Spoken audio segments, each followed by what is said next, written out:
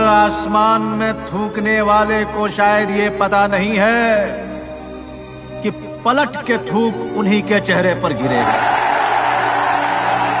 Petrol और diesel की कीमत में आग लगी हुई है। पेट्रोल की कीमत कहीं सौ के पार जा चुकी है तो कहीं सौ पहुँचने ही वाली है। जिस प्रकार से पेट्रोल के दाम बढ़ा दिए ये दिल्ली सरकार की शासन चलाने की नाकामयाबी का जीता जागता सबूत है। पलट के थूक उन्हीं के चेहरे पर गिरेगा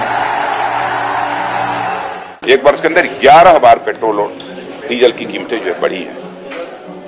मैंने स्वाभाविक है, पेट्रोल और डीजल की कीमत जब बढ़ती है तो जो दैनंदिन उपभोग की जो वस्तुएँ हैं, यानी इसेंशियल कमोडिटीज जिसे बोलते हैं, उनकी भी कीमतें स्वाभाविक रूप से बढ़ती हैं और उसका खामियाजा सर्वाधिक यदि किसी को भुगतना पड़ता है तो जो मध्यम वर्गीय परिवार के लोग हैं, उन्हें भुगतना पड़ता है, जो गरीब हैं पलट के थूक उन्हीं के चेहरे पर गिरेगा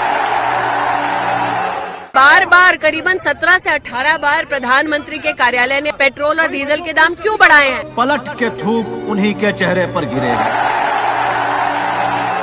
हम चैलेंज करते सरकार को कि पूरी तरह से रिफाइंड पेट्रोल दिल्ली में चौंतीस रुपए से मिल सकता है मुंबई में छत्तीस रुपए से मिल सकता है तो उसके दुगुने दाम क्यों है? पलट के थूक उन्हीं के चेहरे पर गिरेगा पेट्रोल का दाम जिस तरह से बढ़ाया है ये पूरी तरह से महँगाई बढ़ाने वाला कदम है। ये सरकार आम लोगों को धोखा दे रही है। पलट के थूक उन्हीं के चेहरे पर गिरेगा करारा जवाब।